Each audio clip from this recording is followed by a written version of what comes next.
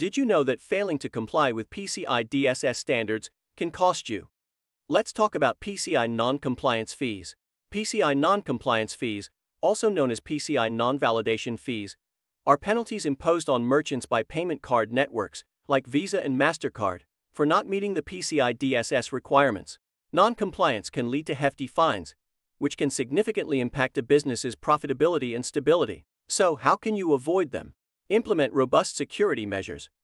Conduct regular security assessments. Stay updated on PCI DSS changes, and work with trusted partners.